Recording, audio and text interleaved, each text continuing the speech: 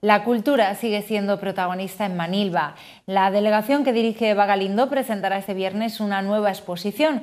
En esta ocasión se trata de la muestra Resurrección y Vida del artista Claudia Andrómedas.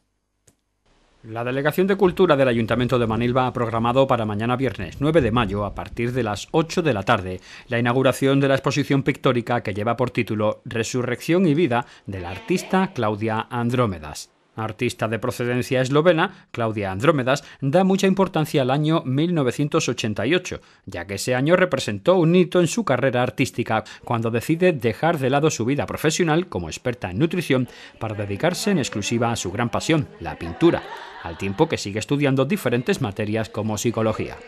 A través de los años, las pinturas de Andrómedas se han ido transformando en misteriosas, espirituales y esotéricas. La artista explora en sus cuadros las dimensiones más profundas de la vida humana, nos enseña el nuevo mundo, el paraíso, la felicidad más limpia e inocente, el mundo que todos soñamos ver. Claudia nos muestra su forma de vivir y su mundo interior. En sus obras encontramos arte, psicoterapia esotérica y metafísica. Esta autora posee experiencia y entendimiento en este último campo. Sus estudios y sus pinturas han servido una y otra vez para ayudar a personas con problemas psicológicos y fisiológicos. La pintora reside con su familia en la Costa del Sol desde 1988. Con motivo de esta actividad, se desarrollará en el auditorio del Centro de Interpretación Las Viñas, donde podemos admirar esta obra hasta el próximo 23 de mayo, un concierto a cargo del pianista Juan Pedro Peces.